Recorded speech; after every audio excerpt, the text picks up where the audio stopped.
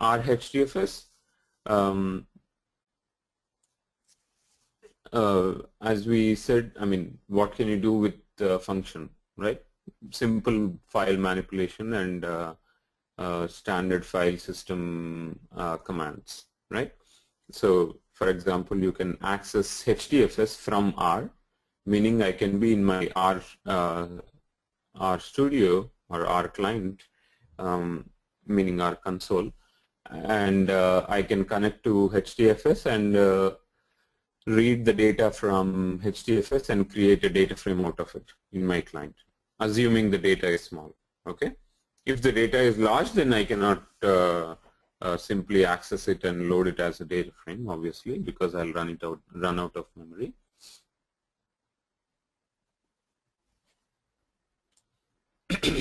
So read from HDFS uh, to R into a data frame, that's fine too.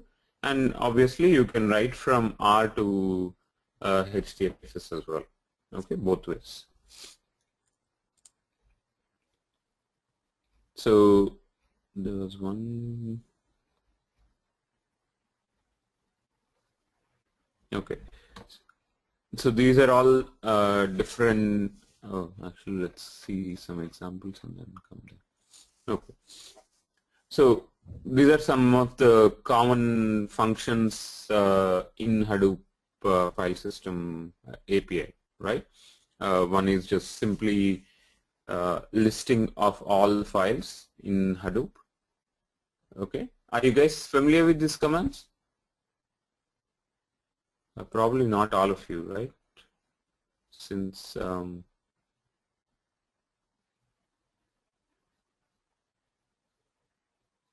No, okay, cool.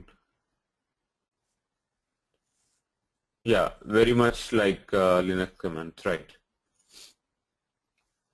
I mean, all you need to do is uh, put Hadoop FS in the middle, uh, in the beginning, and then uh, put a hyphen that uh, tells you the actual command. Okay. I mean, even if you don't know, it's pretty straightforward. Um, so here I'm listing all the all the files and directories under the path slash. Okay. So this is a usual Hadoop command that you would uh, give on the command line in order to list all the files.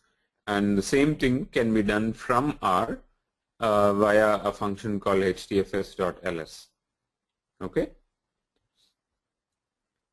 assuming that you imported uh, the RHDFS package. And similarly, you can create a, a directory using uh, minus make uh, mkdir. Uh, this would be the Hadoop command line uh, uh, thing that you would use. And the same thing you can do from R by calling hdfs.mkdir. And similarly, this is for putting a file from local file system to Hadoop file system and getting a file which is um, Hadoop file system to local file system. Okay.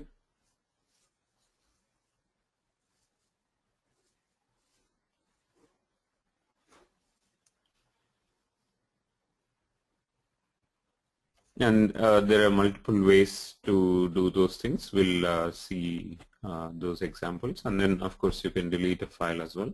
Overall the uh, these are all the functions that you have in RHDFS. Okay. First ones are basic file manipulations like copying a file, moving a file from one location to the other location on HDFS. Uh, renaming is similar.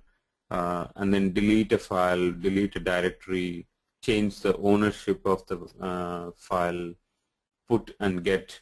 So those are all the basic file manipulation. And of course you have file read and write, okay?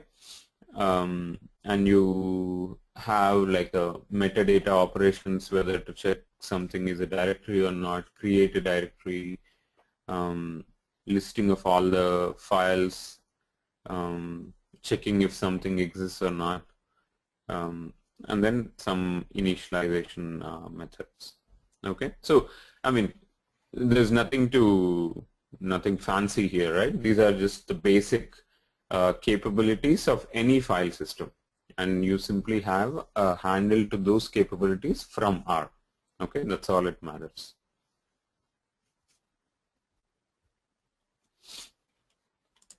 Okay, any questions?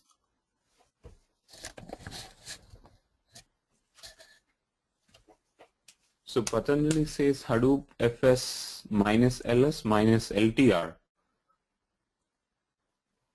Are you sure that LTR is supported in Hadoop? I didn't know. I never did. I mean, of course, I never tried, uh, but I. Oh, okay. Yeah, I don't think so.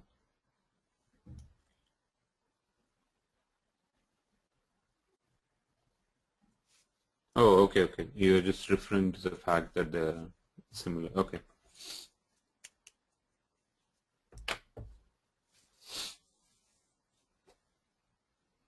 Yeah, I mean, not all the Unix commands work in this uh, uh, Hadoop fashion, obviously, uh, but yeah, nevertheless.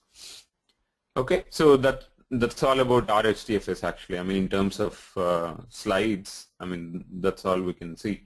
We will see examples uh, on the VM uh, later, but uh, from understanding purposes, uh, that's all. Uh, that's all is there for RHDFS. Okay.